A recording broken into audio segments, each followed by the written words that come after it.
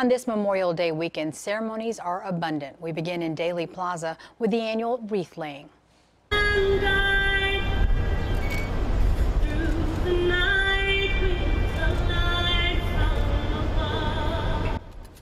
Mayor Rahm Emanuel and Governor Bruce Rauner were among those honoring this holiday. The wreaths were set at the Eternal Flame in the plaza. There was also a special recognition of the Illinois Gold Star families.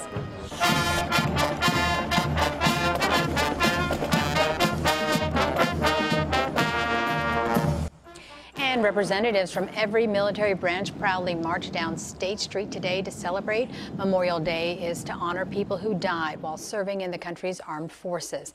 The official holiday is observed on Monday.